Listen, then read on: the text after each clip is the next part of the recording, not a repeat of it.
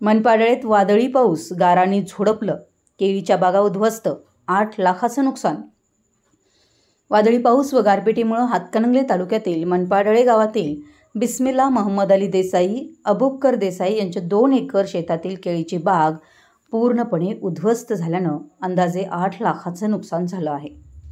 मनपाडळे गावातील देसाई यांचं शेत जमिनीतील केळी आडवी पडली. यावेळी शेती अधिकाऱ्यांनी शेतशिवार येथे जाऊन नुकसान झालेल्या केळी पिकांचा पंचनामा केला. दरम्यान गारपीट व वादळी वाऱ्यासह बरसलेल्या पावसामुळं तालुक्यातील शेतशिवारातील अनेक पिकांचं नुकसान झालं आहे. त्यामुळे शेतकरी आर्थिक संकटात सापडला आहे. अनेक गावातील घरावरील टीनपत्रे उडाल्यानं नागरिकांचा संसार उघड्यावर आला. वीज तारा तुटल्यानं नागरिक रात्रभर अंधारात राहिल्यानं प्रचंड गैरसोयींचा सामना करावा लागला आहे. शेतशिवारात उभं असलेलं पीक पूर्णतः उद्ध्वस्त झालं आहे. वादळी वाऱ्याचा फटका मोठ्या प्रमाणात बसल्यानं मनपाळळे येथे दोन एकर केळीची बाग आडवी पडल्यानं शेतकऱ्यांचे लाखो रुपयाचे नुकसान झालं आहे. मराठी एस न्यूजसाठी कुंभोजहून तेजस्विनी भानुसे.